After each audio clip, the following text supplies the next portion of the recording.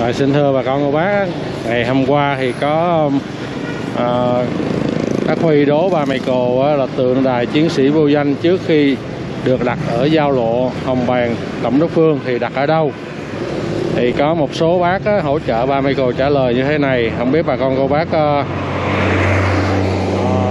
thấy có đúng hay không nè? Của bác à, Trí Công Mai tượng đài chiến sĩ vô danh là có thật chỉ về cục quân nhu Việt Nam Cộng Hòa tại tiểu đảo tại giao lộ các đường Châu Văn Liêm, Hùng Vương và Thuận Kiều. Thì, thì cái câu này thì cũng đúng rồi, tượng đài chiến sĩ à, vô danh nằm ở đó nhưng mà ý của bác Huy của ba Michael hỏi là trước khi được đặt ở đó nó nằm đâu. À. à, có bác ờ, có chú Peter Thái nói nè, thẻ bài có số quân và phân loại máu giờ này chú vẫn còn tấm thẻ bài đó rất quý mến người lính già. Chú còn trẻ mà. Trong lòng ba Michael chú vẫn còn trẻ tại vì ba Michael thấy hình của chú rồi. Cao mà phong độ lắm. Rồi có bác ờ, uh, Thanh Tú. Có hai tượng đài một ở Hồng Bàng và Tổng đốc Phương. Ngã tư và một ở ngã tư Khổng Tử và Tổng đốc Phương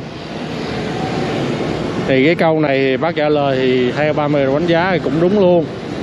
À, nhưng mà nếu mà xét theo cái câu hỏi của bác Huy á thì ngã tư Khổng Tử và Tổng đốc Phương là đó là tượng Phan Đình Phùng nhưng mà bác chỉ nói là có hai tượng đài thì đúng rồi cái câu này bác nói là đúng không có sai. Ở ngay đó có hai cái ngã tư Tổng đốc Phương với Hồng Bàng thì có hai cái tượng đài. Rồi, à, cái câu ngày hôm nay của ờ, một ờ, anh anh ba có biết xe khách giường nằm nào ở xa cảng miền Tây đi về Cần Thơ trong thời gian từ 12 giờ đến 6 giờ sáng không? 12 giờ đêm đến 6 giờ sáng. Thanh anh ba. À. Rồi, giờ mình đi cái đó đi.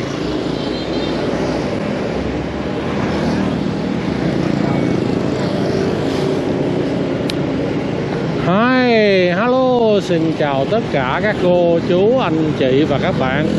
À, Rất vui được gặp lại các cô, chú, anh, chị và các bạn trên kênh của ba Michael à, Thì à, Sài Gòn ngày hôm nay là ngày 9 Không phải ta? Hôm nay ngày 8 nha hả? À, Hôm nay là ngày 8 tháng 8 2023 à, Bây giờ là 9 giờ rưỡi. À, Nhiệt độ bên ngoài là 31 độ C ba Michael đang có mặt ở đây là bệnh viện Triều An nè bà con. Thì bác nói là có xe Cần Thơ nào đó không? Thì giờ mình đi ngay xa cảng miền Tây này giờ mình vô mình hỏi luôn. À, mà ba Michael nghĩ là có. Tại vì uh, dân Sài Gòn bây giờ đi xe đêm nhiều lắm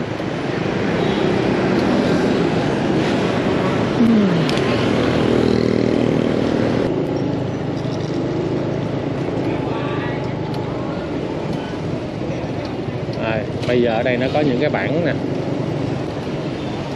Thường ta đi xe phương can về Cần Thơ. À, 175 ngàn xe giường nằm. À, Sài Gòn Cần Thơ về 165 ngàn limousine. Sài Gòn Hồng Ngự nơi đi nơi đến. Ở đây nó không để thời gian Ờ, ở đây không có để thời gian.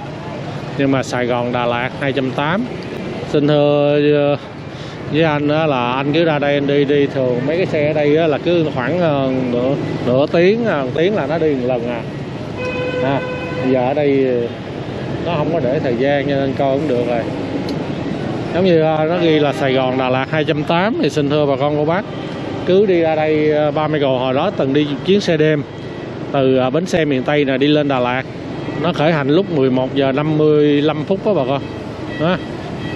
hầu như là dân người dân Sài Gòn bây giờ đi xe đêm nhiều lắm. Còn không thôi thì à, chắc để hẹn anh đi bữa nào cái bữa tối cái hai vợ chồng ba mươi cầu chạy ra đây cái uh, vô hỏi. Chứ bây giờ ở đây nó không có để uh, cái khung thời gian.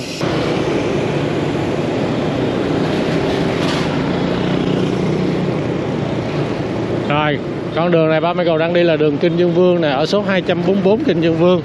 Đây đây là con đường này ngay đây hồi xưa đó là đường quốc lộ số 4 rồi phía trước mặt bà con cô bác đó là mũi tàu.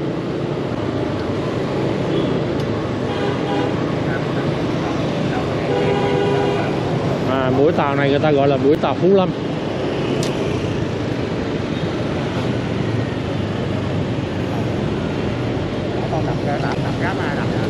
Nắng quá ha. 31 độ C lận bà con. 88 độ F á.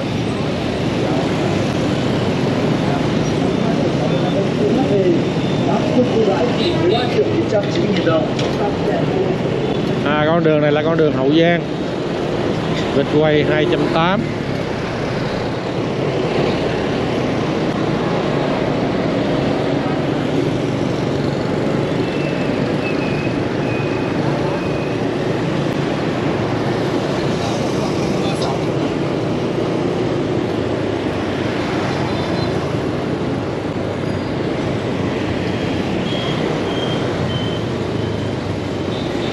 à, tôm sú gà ngợp 200 ngàn ký sú ngợp trăm rưỡi.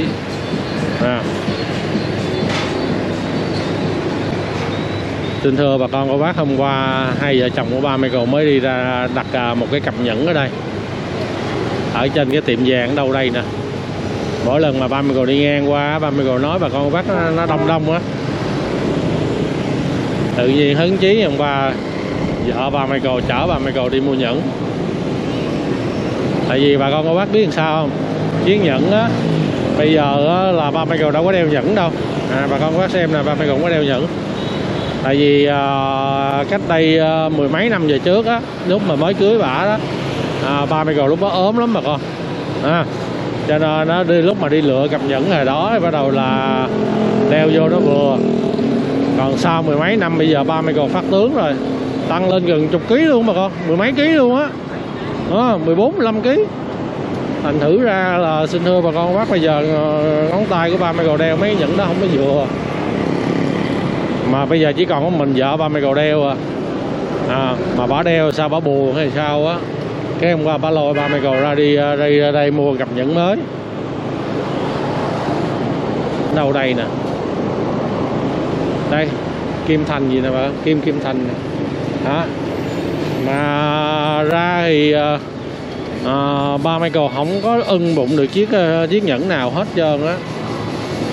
Nó thấy nó sao á với lại à, uh, nó nói chung không thích.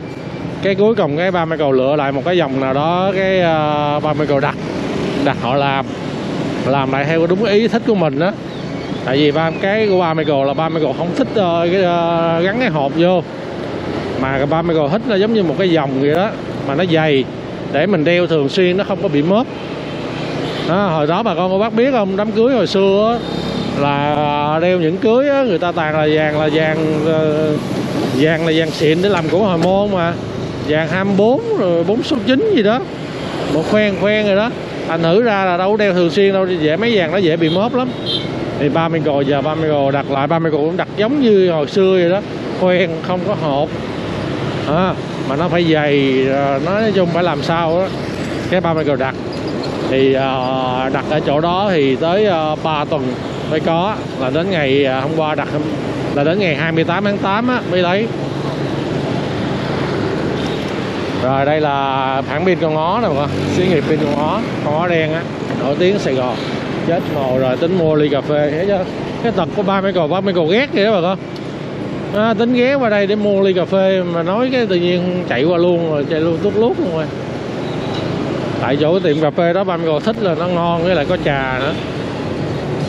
À, bên tay trái này trong đây là chợ Phú Định nè. Thì à, chiếc nhẫn của ba Michael à, đặt á, là theo ý của ba Michael đó là hai chỉ.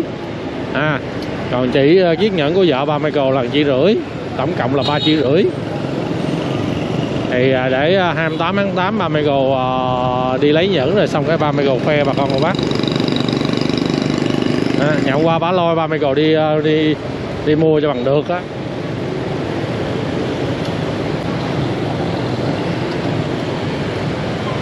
Còn dặn nữa chứ. Mua xong về nhớ đeo nha.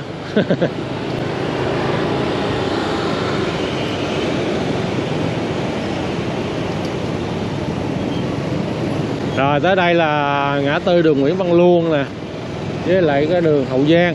Hồi xưa ở đây người ta gọi là ngã tư Phú Định nè bà con. À, ở đây là ngã tư Phú Định.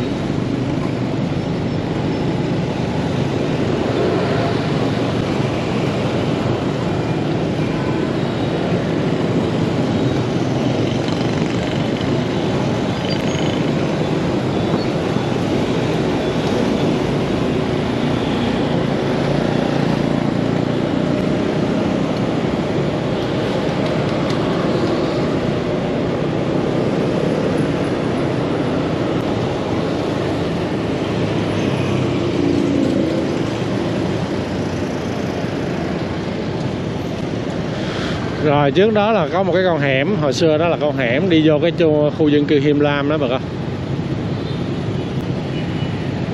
hồi đó mà đi vô một cái là có cái lò mổ. Không biết có các cô chú, anh chị và các bạn nào còn nhớ không? Lò mổ lớn lắm á.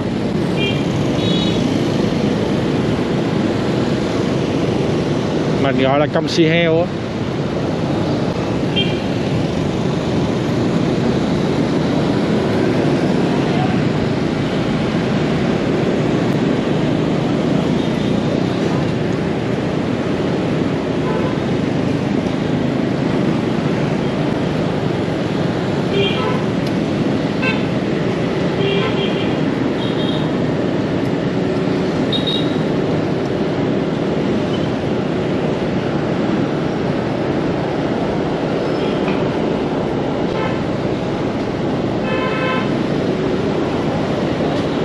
Rồi cái con đường này cầu này cầu Hậu Giang nè bên tay phải nè xưa đó là bốt Nguyễn Văn Tố đó bà con.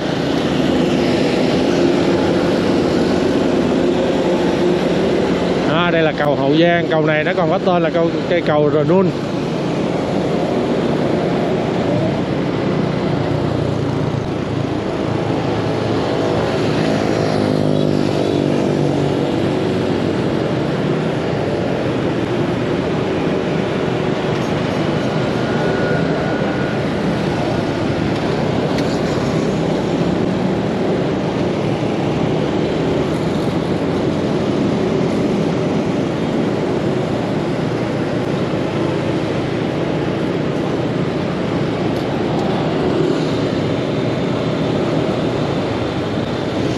Ở đây là ngã tư đường Minh Phụng nè. Hồi đó đây được gọi là phường Bình Tiên. À, Mình quẹo ở đây đường Minh Phụng. Bên tay phải bà con bắt đó là có, có đình nè. Đình này người ta gọi là đình Bình Tiên. À. À. à đây là cái đình Bình Tiên nè. Hình như đình Bình Tiên hồi xưa cổng chính nằm đây hết ta. À, bà con à đây là bức tượng hổ nè cổng nè. Có phải không ta? Hồi xưa đây có phải là cái cái cổng chính không ta? À. À, bà con cô bác xem giúp ba Michael coi. Hồi xưa có phải đây là cái cổng chính không? Tại vì ba Michael thấy đây có biển hiệu nè đình Bình Tiên. Chứ trong hẻm này làm cổng ở đây là làm cái gì? Ha hai bên là hai cánh cửa đi vào nè. Còn bây giờ thì ta mình thấy cái, cái cổng đình thì nó lại mọc vào đây. Đình Bình Tiên Võ Ca nè. Nhưng mà ba mày còn thấy kiến trúc á, thì đây là giống như mặt bên hông hơn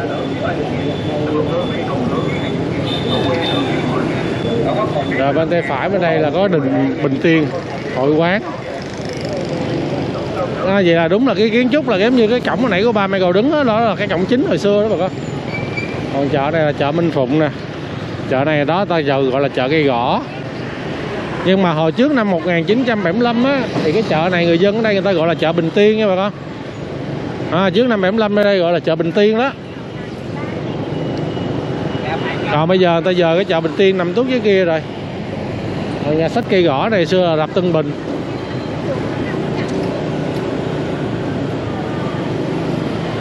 À, đường này đường Lê Quang Sung nè hồi xưa là đường Trương Tấn Bửu.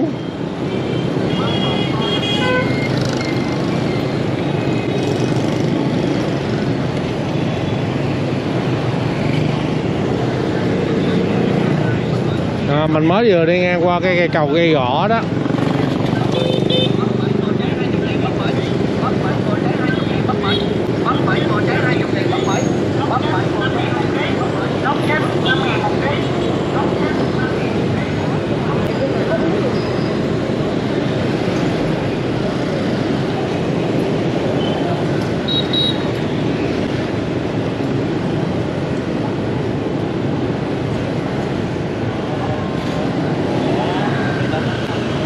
Bên tay trái này mình đi vô cái đình Phú Lâm nè.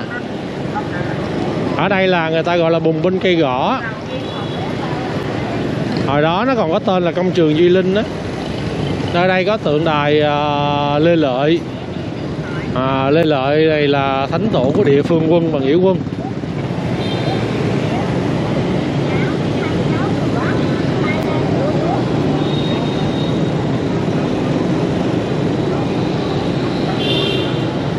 Rồi ba mươi gò quẹo qua đây là con đường này là đường Hồng Bàng. Con đường Hồng Bàng này hồi xưa nó mang tên đó là đường Lục Tỉnh nha bà con. Đường Lục Tỉnh bắt đầu từ đây nè. Rồi sau năm 75 á, thì à, con đường này được đổi tên là đường Phùng Vương.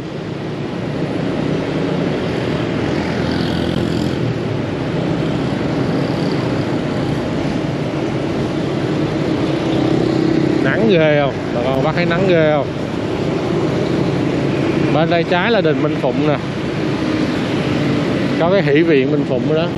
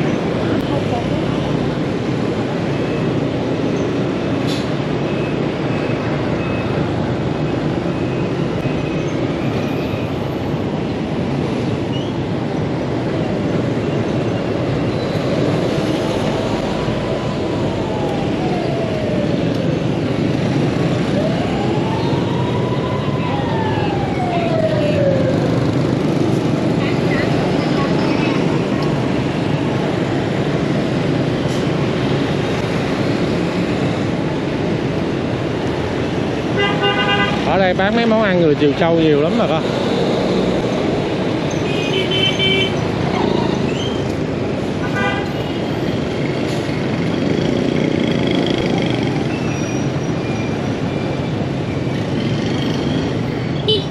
trời, nó nóng quá trời nóng luôn nè, mà đường xá nó đông đúc ghê đó, bà con có bác thấy người dân Sài Gòn cũng đâu có sung sướng gì bà con đó, trời nắng chang chang à, mà vẫn phải đi bươn chải đi làm kiếm tiền. Chứ không thôi là đói nha bà con. Đó. thấy ghê không? Nắng rát da luôn á. Con đường này đường Nguyễn Thị Nhỏ nè hôm bữa trước có một em hỏi ba Michael đây có phải là đường Dương Công Trần hay không? Rồi xin thưa bà con bác nơi đây là hồi đó là đường Dương Công Trần nè. Hồi đó đây là có xe cam nhâm đậu nhiều lắm mấy cái xe chở hàng ở dưới tỉnh lên đó hoặc là ờ, chở heo từ bên lòn lò heo Chánh Hưng qua đây. À, nói chung đây là ờ, một cái bãi đậu xe xe cam nhông.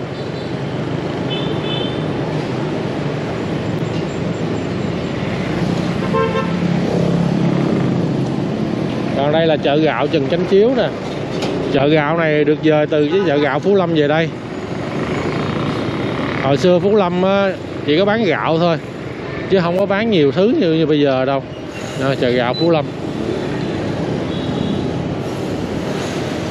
À, giờ ở đây là bán ba loại gạo đậu với đường. Đó, đường này là đường Trần Chánh Chiếu số 95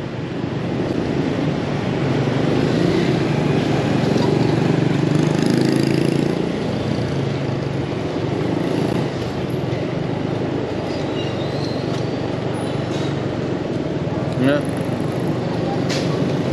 cấm người dân ông đạp xích lô nè, chạy xe ôm nè. Đó, dưới trời nắng chang chang rồi đó, người dân người ta vẫn phải vươn chải đi làm kiếm tiền.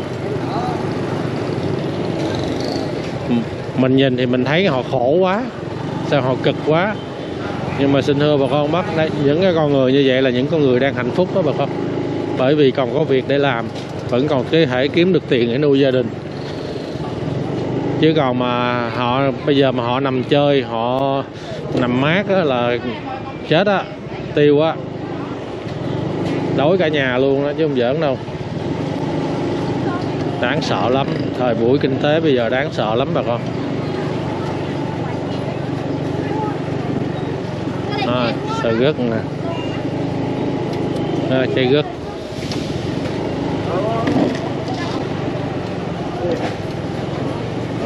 đây là bán hàng thịt. Chợ này người ta gọi là chợ sớm voi. Trước mặt bà con bác đó là bến xe chợ lớn đó.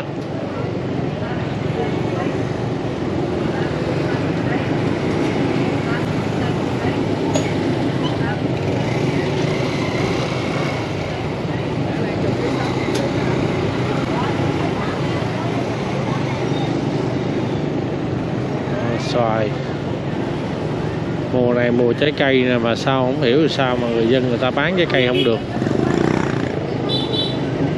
Đơn giản là tại vì thất nghiệp mà người ta, người dân người ta không đâu có tiền đâu mà mua. Rẻ rẻ chứ người ta phải ưu tiên mấy cái món như là ăn cho no bụng trước rồi đã. Đó. chứ còn mấy cái trái cây này có cũng được không có cũng không sao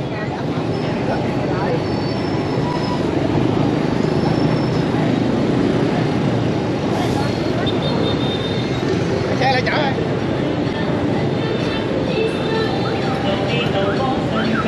Đâu đi ngọc đó từng Đâu đi ra bó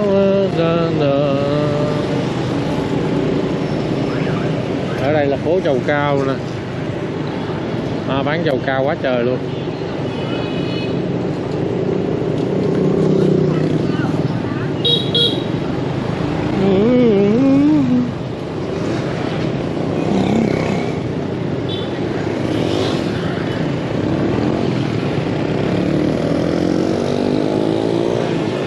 Rồi con đường này là đường Tháp 10 Tháp 10 là mang tên một cái tỉnh ở dưới đồng Tháp 10 đó bà con. Đây bán cây cảnh giả. Con đường này đường Ngô Nhân Tịnh nè. Đường Ngô Nhân Tịnh này hồi xưa là đường Ba Ly Cao. Bên đây là công viên Cửu Long. À, Công viên Cửu Long. Kế bên đây là có cái tủ lầu rồi bà con. Ờ, à, Á Đông tủ lầu. Giờ đóng cửa rồi. Chịu hết nổi rồi.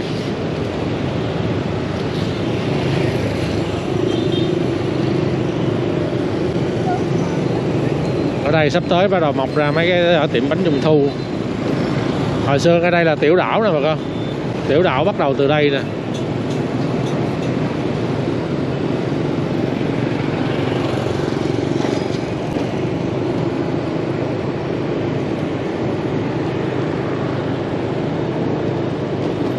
Bên đây phải là chợ Kim Biên.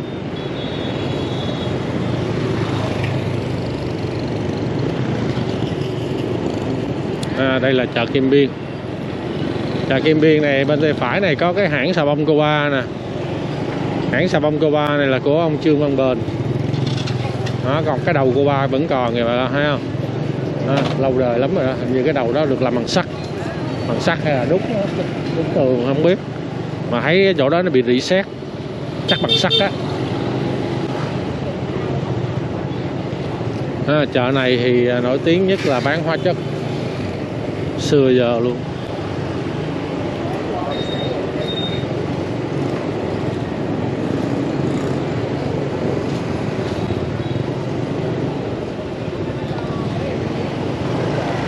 Nhớ ghê á hồi đó ba Michael với bác Huy từng à, à nói về cái cái à, chỗ chợ Kim Biên này nè bà con cô bác có biết không? Cái chợ Kim Biên này ba Michael đố bà con cô bác biết nè. Trước khi nó có chợ Kim Biên nó là cái gì?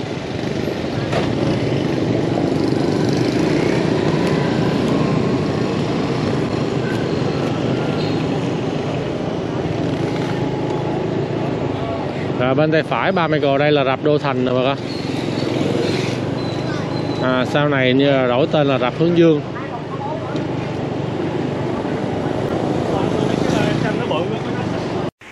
Là Lê Thanh Đức Hưng, biệt danh là Ba Michael. Cả nhà nhớ bấm subscribe ủng hộ kênh mình nha. Bye bye, tạm biệt.